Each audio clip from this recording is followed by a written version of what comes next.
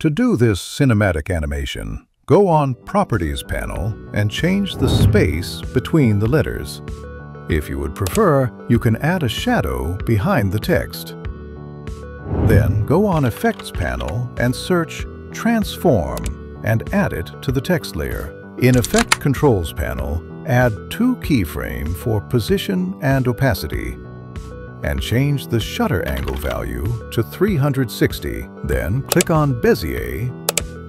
For the keyframes of position, click Ease In. For those of opacity, select Ease Out.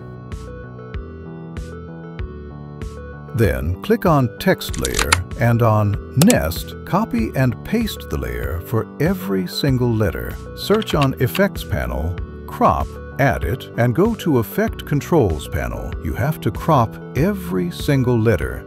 This is the result.